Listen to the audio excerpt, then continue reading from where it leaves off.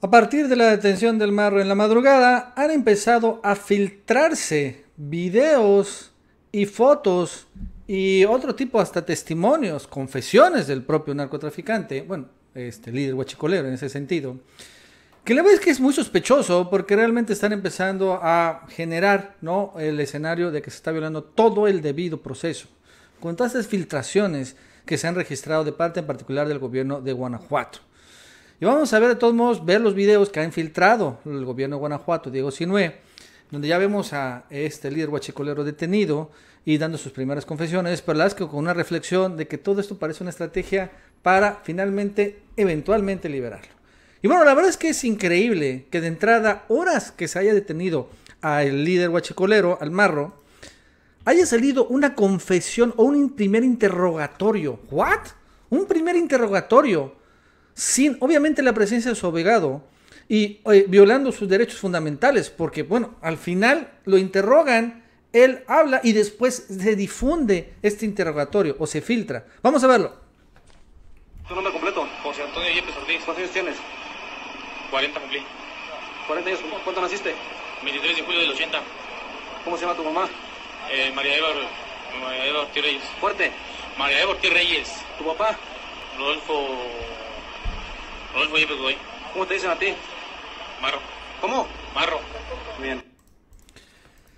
Si bien nada más da sus generales, pero aún así, yo no sé por qué pregunta por su mamá y por su papá, de todos modos es un interrogatorio fuera de toda finalmente tipo de ley, no tiene su abogado ahí presente, ¿no? Esto es no solo el interrogatorio, sino la filtración, una grave violación al debido proceso. Y no solo eso, también difunden la- el momento en que se llevan a el marro a este, al penal de máxima seguridad en un este, helicóptero de la Fuerza Aérea. Y ojo, aquí lo que vamos a ver, todos los policías que están alrededor del marro no son de la Guardia Nacional ni son del Ejército, son de la Fiscalía de Guanajuato. Son los mismos que están grabando y que están filtrando todo esto.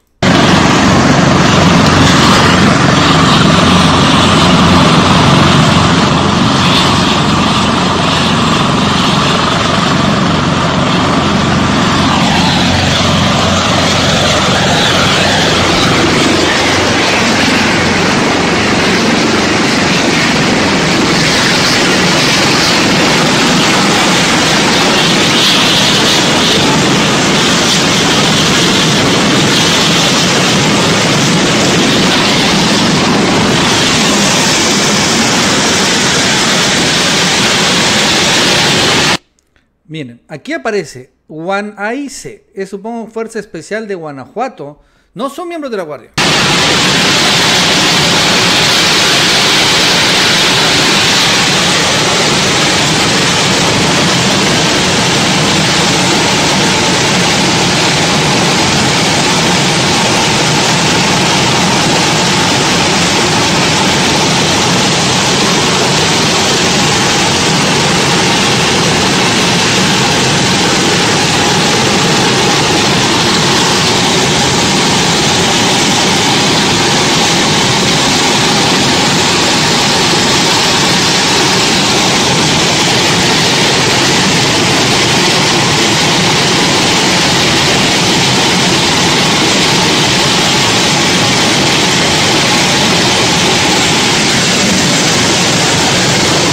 Sé por qué le quitan las esposas, pero bueno.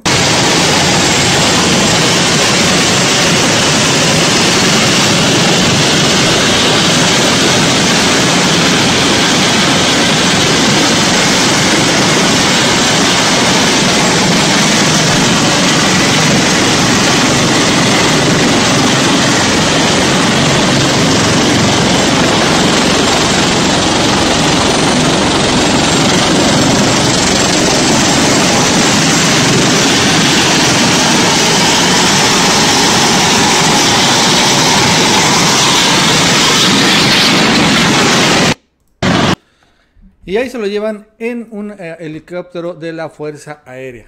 Pero la vez que le repito, las filtraciones han estado muy, muy de otro nivel. Por ejemplo, desde el muy temprano Azucena de Milenio y de Grupo Radio Fórmula empezó también a filtrar otro tipo de fotos que obviamente se las pasó la Fiscalía de Guanajuato. Detenido por los delitos de delincuencia organizada y robo combustible, aparece Almaro trasladado al Ceferezo. Y aquí aparece igual una foto de él, y sabemos que es el marro porque bueno, finalmente tiene esta chaqueta gris. Y, que- si lo vemos, repito, está solo custodiado por miembros de la Fiscalía de Guanajuato. ¿no? Que son, repito, bueno, en esta parte si la izquierda es un miembro del ejército, me, me equivoco, pero los que están filtrando todo esto son de la Fiscalía de Guanajuato. Y, vemos más, por ejemplo, este tipo de filtraciones, casi, casi siempre cuando suben este tipo de fotos, siempre les ponen cuando menos el, ¿se acuerdan? Fue el- la, la cosita esta en los ojos, precisamente para eh, no violar el debido proceso, porque aquí se llega al extremo de que si es una foto así, finalmente se viola. Pero las filtraciones están violando todo el debido proceso, lo cual a mí no me gusta en lo absoluto. Por ejemplo, un reportero de MBS, Oscar Bellman, también de seguridad, sube fotos igual exclusivas de la detención de este señor. O sea, ¿quién le pasó estas fotos a este reportero? ¿No? O sea, igual, fotos que realmente son inéditas a la hora de, este, de la detención. No son fotos oficiales. ¿Ustedes han visto, por ejemplo, alguna foto de Emilio Lozoya detenido? No, porque de entrada todo esto está obviamente controlado por el gobierno federal y ahí no permiten que suceda esto, pero en el caso del Marro ha sido todo lo contrario.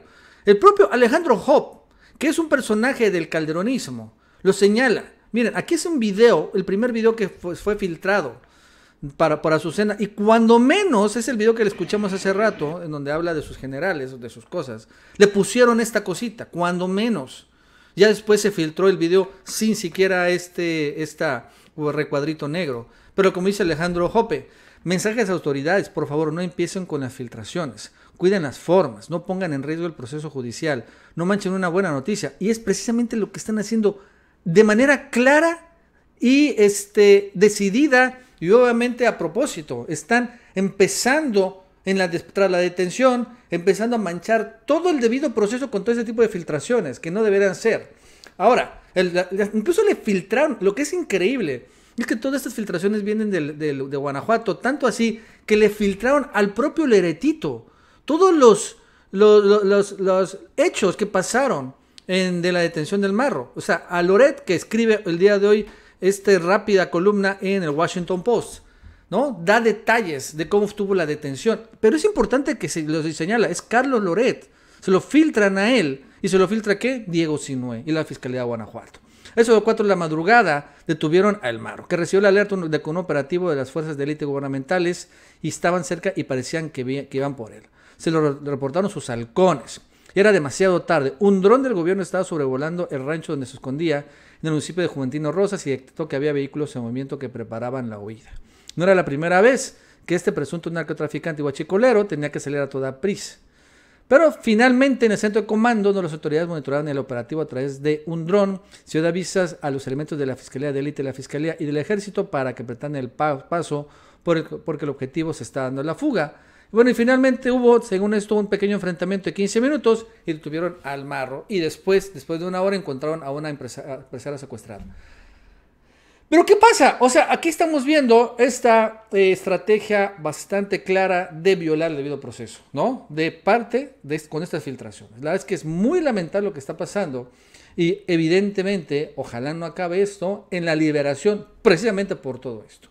Bueno amigos y amigas, eso es todo por el día de hoy. Si te gustó este video, suscríbete, dale like para que más personas lo vean. Que tengas un buen día y nos vemos en el próximo video.